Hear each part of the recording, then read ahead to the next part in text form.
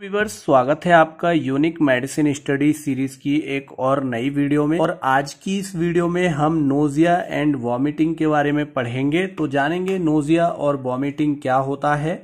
Nausea और vomiting की क्या क्या कंडीशन रहती है। और अगर किसी को ऐसी समस्या आती है तो फिर उसके लिए क्या क्या कॉज हो सकते हैं क्या क्या साइन सिम्टम्स हो सकते हैं।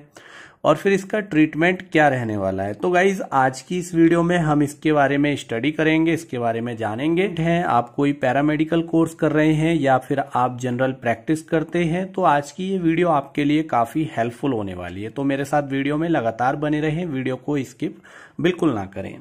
दोस्तों, नोजिया और वॉमिटिंग की अगर हम बात करें तो इसको हिंदी में जी घबराना व उल्टी आना कहते हैं। मतलब कि इसके हिंदी में जी घबराना या उल्टी आना कहा जाता है। जनरली अगर कोई जनरल व्यक्ति है या कोई पेशेंट है, वो अगर कंप्लेन करता है कि उसको उल्टी आ रही है या फिर उसका जी घबरा रहा है तो इस कंडीशन को नोजिया या वॉमिटिंग कहा जाता है।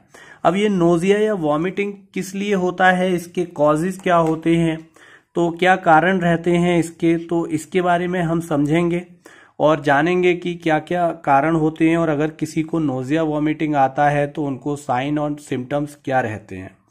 तो इन्फेक्शन या अदर कॉज यानी अगर किसी को कोई इन्फेक्शन हुआ है या कोई अदर कॉज है जो कि गैस्ट्रो इंटेस्टाइनल कंटेंस का ओरली बाहर आना यानी अगर किसी को नोजिया वॉमिटिंग होता है और उस समय जो उसका खाया पिया हुआ है व्यक्ति का या पेशेंट का, वो उसका पेट से बाहर आ जाता है ओरली मतलब ओरल रूट से, मुख मार्ग से मतलब कि मुँह के द्वारा तो उस कंडीशन को नोजिया या वॉमिटिंग कहा जाता है। गाइज़ इसमें क्या होता है कि इनडाइजेशन जब किसी को अपच हो जाती है, इसमें जो फ़ूड होता है, वो स्टमक में डाइजेस्ट नहीं हो पाता है। और उस समय उल्टी के साथ बाहर आता है तो ऐसी कंडीशन को भी वॉमिटिंग यानी कि उल्टी कहा जाता है। और ये जो कंडीशन होती है, वो डायरिया के केस में ज़्यादा देखने को मिलती है। अब हम बात करेंगे कि इसके आखिर कौन कौन से कॉज हैं जो हो सकते हैं। मतलब इसके क्या कारण हैं कि किसी को नोजिया वॉमिटिंग आता है।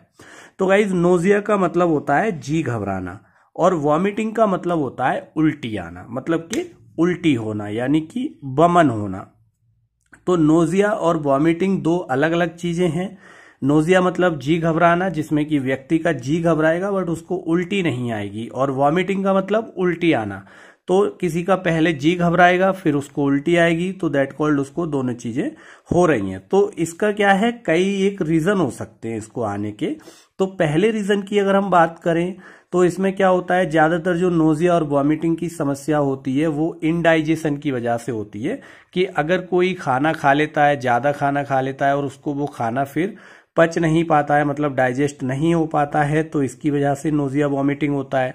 सेकेंड कॉज की अगर हम बात करें तो मोशन सिकनेस मोशन सिकनेस क्या होता है कि जब भी कोई व्यक्ति कोई ट्रैवल करता है, आपने देखा होगा, कुछ ऐसे लोग होते हैं जो कार या बस में उल्टी करते हैं बट बाइक पे अगर वो चलते हैं तो उल्टी नहीं करते हैं। यानी उनको नोजिया वॉमिटिंग नहीं आता है ट्रैवलिंग के दौरान। और कुछ ऐसे पेशेंट होते हैं फ़्लाइट में उल्टी करते हैं बट जो ज़मीन पे जो व्हीकल चलते हैं, उनमें उल्टी नहीं करते। जैसे कि बात करें, कोई कार से जा रहा है, कोई ट्रेन से जा रहा है तो उनको ज़मीन पर उल्टी नहीं होती है व्हीकल के अंदर में। बट अगर वो फ़्लाइट से जर्नी करते हैं, सफ़र करते हैं तो उस दौरान उनको उल्टी आ जाती है। तो ये हर एक पेशेंट की कंडीशन में अलग अलग हो सकता है। इसके अलावा बात करें मॉर्निंग सिकनेस की। तो मॉर्निंग सिकनेस क्या होता है? मॉर्निंग का मतलब सुबह के समय और सिकनेस का मतलब उनको सिकनेस फीलिंग होती है। तो ये जो कंडीशन होती है, वो प्रेग्नेंट लेडी में होती है। तो प्रेग्नेंट लेडी में क्या होगा कि उनको सुबह के समय जो है मॉर्निंग सिकनेस की प्रॉब्लम रहेगी, यानी कि उनको नोजिया और वॉमिटिंग जो होगा वो सुबह के समय होगा। और ये प्रॉब्लम रहेगी प्रेग्नेंट लेडीज़ के लिए। तो इसमें भी उल्टी होती है उनको और उनको ऐसी फीलिंग आएगी कि उल्टी हो रही है, बट गाइज़ उल्टी में कुछ आता भी नहीं है क्योंकि सुबह सुबह खाली पेट होता है। दोस्तों, इसके अलावा अगर हम बात करें तो कई बार क्या होता है कि कुछ दवाओं की वजह से भी नोजिया वॉमिटिंग हो जाता है। तो इसमें क्या होता है, मान लीजिए पेशेंट की कोई दवाई चल रही है और उस समय उनको नोजिया वॉमिटिंग आता है तो इसके लिए डॉक्टर क्या करते हैं, साथ के साथ रेंटेडिन वगैरह के टैबलेट भी रख देते हैं। और इसके अलावा ऐसी लॉग वगैरह के टैबलेट रख देते हैं, जिससे कि जो पेशेंट मेडिसिन ले रहा है, इसके साथ उसको किसी तरह का नोजिया वॉमिटिंग ना हो, यानी उसकी कोई कंप्लेन ना हो। और दोस्तों, इन सभी कंडीशन के अलावा अगर हम बात करें तो कुछ ऐसी कंडीशन बन जाती हैं, जिसमें नोजिया वॉमिटिंग होता है। जैसे कि अगर किसी को कोई इन्फेक्शन हुआ है तो उस समय नोजिया वॉमिटिंग की समस्या रहेगी, उल्टी मितली आएगी। अगर किसी को वायरल गैस्ट्रो एंट्रेटाइटिस हुआ है या फिर गैस्ट्रिक रिटेंशन हो गया है तो उस समय भी दिक्कत आएगी। गैस्ट्रिक रिटेंशन मतलब कि पेट में जो गैस है, वो पास नहीं हो रही है, गैस रुक रही है। या फिर किसी को एक्यूट गैस्ट्रेटाइटिस की प्रॉब्लम है मतलब कि पुराना जो है गैस की बीमारी है बहुत लंबे समय से तो उनको भी ये दिक्कत आएगी। तो ये भी इसका एक रीजन होता है। दोस्तों, इसके अलावा अगर हम बात करें तो किसी को इंटेस्टाइनल ऑब्स्ट्रक्शन, यानी आंतों में रुकावट, आपने सुना होगा कि बहुत सारे लोग कंप्लेन करते हैं कि उनको जो है गैस बनती है, गैस पास नहीं होती है, या फिर ऐसा फील होता है कि गैस किसी भी वजह से आंतों में रुक रही है तो इस कंडीशन में भी उल्टी मितली आ सकती है। इसके अलावा अगर किसी को फ़ूड प्वाइजनिंग हुई है, मान लीजिए कुछ लोग ऐसे होते हैं जो बाहर खाना खाते हैं और उस समय वो ध्यान नहीं देते हैं और कुछ गलत खा पी लेते हैं तो उस समय उनको जो उल्टी मितली होती है वो फ़ूड पॉइजनिंग की वजह से होती है। और फ़ूड पॉइजनिंग में क्या होता है कि कभी कभी तो व्यक्ति की जो तबीयत है वो काफ़ी ख़राब हो जाती है, उसको दस्त भी लग जाते हैं साथ में। और ऐसा जब होता है जबकि कोई बाहर का खाना खाता है या फिर खाने में किसी तरह से पॉइजनिंग हो जाती है तो इसको फ़ूड पॉइजनिंग कहा जाता है और ये भी एक रीज़न होता है जिसमें कि उल्टी मितली पेशेंट को आती है। दोस्तों, इसके अलावा अगर हम बात करें तो अगर किसी को हेड इंजरी हुई है, जैसे कि किसी का एक्सीडेंट होता है और उस समय व्यक्ति को बार बार उल्टी आती है तो हेड इंजरी की वजह से भी नोजिया वॉमिटिंग हो सकता है। मतलब कि अगर किसी को सर की चोट लगी है तो उसमें भी नोजिया वॉमिटिंग आ सकता है।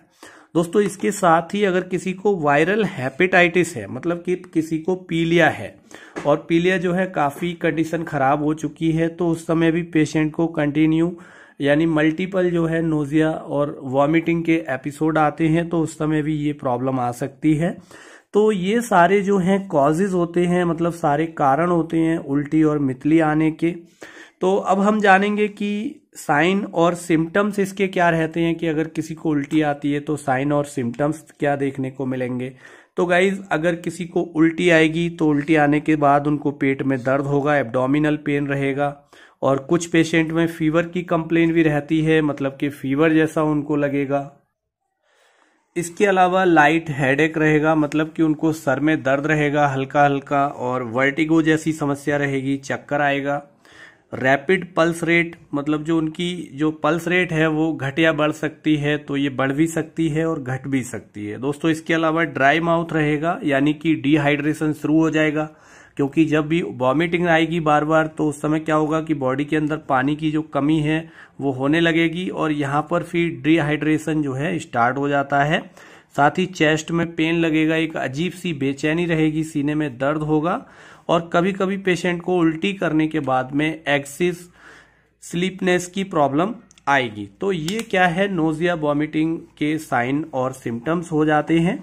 गाइज़ अब हम बात करेंगे इसके ट्रीटमेंट की कि अगर इस तरह की प्रॉब्लम किसी को आती है और वो अपने डॉक्टर के पास जाते हैं तो फिर डॉक्टर उनको कौन सा ऐसा ट्रीटमेंट है जो उनको देते हैं और इनके कौन कौन से मेडिकेशन जो है चलाए जाते हैं डॉक्टर के द्वारा?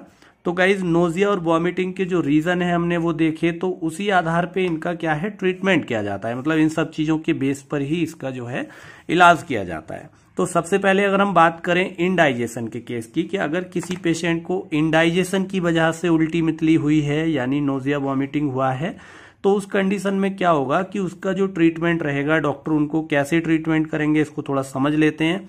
तो उस समय उनको टैबलेट पेरीसेट एमडी अब पेरीसेट एमडी क्या है? इसका ब्रांड नेम है, जिसके अंदर होगा ऑनडान सेट्रॉन फोर एमजी की मात्रा में। तो ऑनडान सेट्रॉन क्या एक उल्टी और मितली को रोकने वाली मेडिसिन है।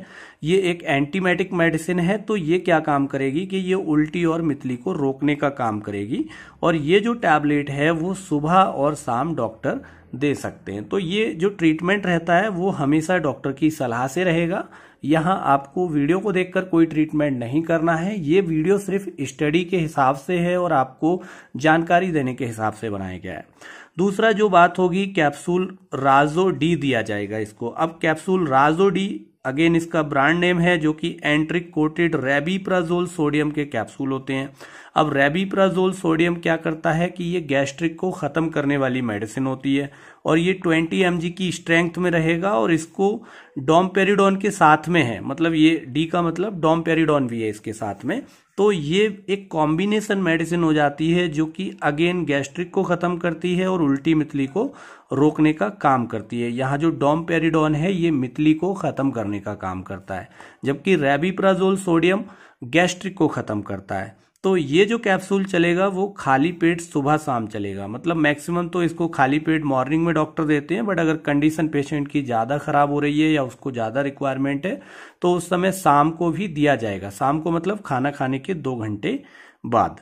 इसके अलावा अगर हम बात करें सिरप के केस में तो सिरप पेंटॉप एमपीएस चलेगा। अब सिरप पेंटॉप एमपीएस के अंदर क्या रहता है कि इसके अंदर होता है पेंट्राप्राजोल जो कि दो चम्मच सुबह, दोपहर, शाम। अब यहाँ जो है, तीनों टाइम की डोज यहाँ पर जो है बताई गई है बट ये जो सिरप होता है, वो मैक्सिमम दो बार दिन में दिया जाता है और ज़रूरत के हिसाब से तीन बार भी दे सकते हैं और जनरली जो इसका यूज़ होता है, वो सुबह, शाम रहता है।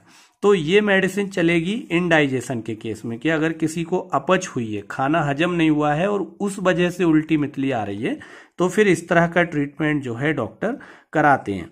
अब बात आती है कि अगर ये ट्रीटमेंट किसी पेशेंट का चला और उनको आराम नहीं है तो फिर उनको कैसे आराम मिलेगा? तो इसके लिए थोड़ा सा समझ लेते हैं। तो अगर ये ट्रीटमेंट देने के बाद पेशेंट को आराम नहीं होता है तो फिर उस कंडीशन में उनको इंजेक्शन दिए जाएँगे, जिसमें रेंटेक काफ़ी फ़ेमस है टू एम के एम्पुल आते हैं, जिसमें रेंटिडिन 50 एम होता है। मतलब इसकी जो स्ट्रेंथ है वो 50 एम रहेगी। अब इस इंजेक्शन को पेशेंट की मांसपेशी यानी आईएम या फिर ड्रिप में डालकर उसको लगाया जा सकता है। तो लगाया जा सकता का मतलब ये है कि ये पेशेंट की कंडीशन पर डिपेंड रहेगा कि उनको आईएम देना है या फिर ड्रिप के अंदर देना है। दोस्तों, इसके अलावा यहाँ इंजेक्शन चलेगा पेरीसेट टू एम जिसके अंदर ऑनडान सेट्रॉन होगा। तो ऑनडान सेट्रोन हमने यहाँ देखा, यहाँ टैबलेट चले थे। बट गाइज़ जब पेशेंट को जल्दी आराम नहीं होता है तो टैबलेट नहीं दिए जाते हैं। उस कंडीशन में उनको इंजेक्शन दिए जाते हैं। और ये सिरा मार्ग से दिया जाएगा। सिरा मार्ग मतलब आईवी तो ये आईवी दिया जाएगा इंट्रावेनस। तो ये जो है आपके डॉक्टर की सलाह से रहेगा। अब दोस्तों क्या होता है कि अगर किसी को नोजिया वॉमिटिंग लंबे समय से है तो हो सकता है उनको डिहाइड्रेशन भी हो सकता है। तो जैसे किसी को बहुत ज़्यादा उल्टी आ रही है और उल्टी आते आते जब पेशेंट डॉक्टर के पास पहुँचता है तो उनकी कंडीशन काफ़ी ख़राब हो जाती है। उस समय उनको डिहाइड्रेशन हो जाता है। डिहाइड्रेशन का मतलब निर्जलीकरण, यानी पानी की कमी हो जाती है शरीर के अंदर में। तो उस स्थिति में क्या करते हैं कि डॉक्टर साथ के साथ एक आरएल, जिसको कि रिंगर लैक्टेडेड या डीएनएस की जो ड्रिप होते हैं, जो फ्लूड होते हैं, वो उनको साथ में दिए जाते हैं। जिससे क्या होता है कि उनकी जो बॉडी के अंदर पानी की कमी हो जाती है मतलब कि डिहाइड्रेशन हो जाता है, इसको ठीक किया जा सके मतलब पानी की कमी को पूरा किया जा सके। तो ये जो है डॉक्टर आरएल लगाते हैं या फिर डीएनएस लगाते हैं और इस तरह से इनको पूरा किया जाता है। अब बात आती है कि किसी को उल्टी हुई और पानी की कमी हो गई, उसके लिए भी हमने मतलब डॉक्टर ने ट्रीटमेंट दिया। अब अगर पेशेंट को पेट दर्द की शिकायत भी आ रही है इसके साथ में, मान लीजिए पेशेंट की कंप्लेन है कि उसको पेट दर्द भी हो रहा है तो उस समय क्या होगा कि इंजेक्शन एक्वाडोल स्पास, अब ये क्या है? ब्रांड नेम है। स्पास मतलब इसका जो इंडिकेट कर रहा है कि जो स्पास वगैरह होती है, मरोड़न वगैरह होती है, उसके लिए ये मेडिसिन है। जिसके अंदर जेनरिक जो इसका नाम है डिक्लोफिनेक एंड डाइसाइक्लोमिन। तो ये जो इंजेक्शन है, वो आईएम लगाया जाएगा पेशेंट को और इसके साथ साथ Zerodol Spas aceclofenac and drotaverine की जो टैबलेट हैं, वो भी दिए जा सकते हैं।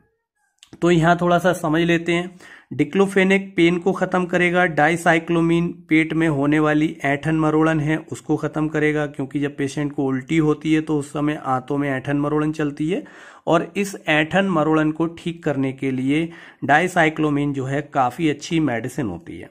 दोस्तों, यहाँ फिर नेक्स्ट जो टैबलेट रहेगी, वो ज़ीरो डॉल स्पास रहेगी, काफ़ी फ़ेमस रहती है। इसके अंदर अगेन एसिक्लोफिनेक होता है, ड्रोटैवरिन होता है। तो एसिक्लोफिनेक जो है पेन के लिए होता है और ड्रोटैवरिन जो है एठन मरोड़न के लिए होता है। तो दोनों ही लगभग सेम मेडिसिन है। तो यहाँ पर डॉक्टर या तो इसको दे सकते हैं या फिर इसको दे सकते हैं। तो ये डॉक्टर के हिसाब से रहेगा मेडिकेशन और पेशेंट की ज़रूरत से रहेगा। अब पेशेंट को नोजिया वॉमिटिंग, ट्रेवल सिकनेस की वजह से हुआ है या मोशन सिकनेस की वजह से हुआ है तो उस समय टैबलेट एमिकाइंड, जिसके अंदर प्रोकोल्फोरामेजिन मिलेट होता है, जो कि मुँह में रख के चूसने वाली टैबलेट होती हैं, वो दी जाती हैं। और अगर किसी लेडी को प्रेगनेंसी के दौरान नोजिया वॉमिटिंग की दिक्कत आ रही है। मान लीजिए लेडी प्रेग्नेंट है और उनको फिर नोजिया वॉमिटिंग आ रहा है तो उस कंडीशन में क्या होगा कि टैबलेट प्रीडॉक्स, जिसमें कि डॉक्सिलामाइन सक्सीनेट होता है और साथ ही पायरोडॉक्सिन होते हैं और फॉलिक एसिड रहते हैं तो ये टैबलेट उनको एक गोली रात को सोते वक्त दी जाएगी। तो डॉक्टर, ये उनको, उनकी ज़रूरत के हिसाब से एक गोली या दो गोली जिस तरह से होगा, वो सोते वक्त या सुबह शाम उनको दे सकते हैं। तो ये ट्रीटमेंट रहेगा सिर्फ़ डॉक्टर की सलाह से। और दोस्तों, इस तरह से अगर आप मेडिकल स्टूडेंट हैं या आप कोई डिग्री डिप्लोमा कर रहे हैं या आप कोई लोकल प्रैक्टिशनर हैं तो इस तरह से नॉलेज के लिए ये वीडियो है और इससे आपको काफ़ी हेल्प मिलेगी। आपकी जो नॉलेज है वो काफ़ी बढ़ेगी दोस्तों। अब नेक्स्ट जो है टैबलेट एवोमिन अब एवोमिन के अंदर क्या होता है? प्रोमेथाजिन टैकोलेट होते हैं तो ये ज़रूरत के हिसाब से दी जाएगी। और अगर फिर भी प्रेग्नेंट लेडी को आराम ना हो तो उस कंडीशन में वायोन 12 प्लस यानी vitamin B one B six B twelve के जो एम्पुल आते हैं इंजेक्शन के, ये उनको आईएम यानी कि मांसपेशी में लगाए जाएँगे। और ये रोज़ाना एक इंजेक्शन लगाया जाएगा पेशेंट की नीड के हिसाब से मतलब उनको कितनी ज़रूरत होती है। इसके साथ ही इंजेक्शन पेरीनॉर्म उल्टी के लिए बहुत ही असरदार होता है, जिसके अंदर मीटोक्लोरपामाइड होता है, जो कि दो एम के एम्पुल आते हैं तो ये भी दिया जा सकता है। और दोस्तों, इसके अलावा इंजेक्शन रेंटिडीन, यानी कि रेंटेक जो है, ज़रूरत के हिसाब से दिया जाएगा, अगर किसी को ज़्यादा उल्टी हो रही है और ज़रूरत पड़ रही है। तो उस तरह से ये जो है उल्टी मितली का ट्रीटमेंट रहता है और पानी की कमी को पूरा करने के लिए नॉर्मल डेक्स्ट्रोसलाइन या फिर डेक्स्ट्रोड फाइव परसेंट की जो है ड्रिप पेशेंट को लगाई जाती है। तो ये सारी चीज़ें जो है पेशेंट की कंडीशन पर डिपेंड करती हैं और पेशेंट की ज़रूरत के हिसाब से डॉक्टर देते हैं। तो दोस्तों, ये जो वीडियो है वो इसलिए बनाया है ताकि आपको इसके बारे में एक जानकारी मिल सके और आपको पता चल सके कि नोजिया वॉमिटिंग क्या होता है। तो उम्मीद है दोस्तों, ये वीडियो आपके लिए हेल्पफुल रहेगा और ऐसे ही यूनिक मेडिसिन स्टडी सीरीज़ के वीडियो देखने के लिए आपके अपने चैनल यूनिक मेडिसिन को सब्सक्राइब करके रखें बेल आइकन को प्रेस कर दें, जिससे आपको आने वाली वीडियोस के नोटिफिकेशन भी समय समय पर मिलते रहें। और इस वीडियो को अपने साथी स्टूडेंट्स ग्रुप में शेयर करना बिल्कुल ना भूलें, जिससे उनको भी इसके बारे में जानकारी मिल सके। दोस्तों, आपसे मिलेंगे ऐसे ही एक नए वीडियो के साथ में। तब तक के लिए सेफ़ रहें अपना ख्याल रखें। जय हिंद बंदे मातरम।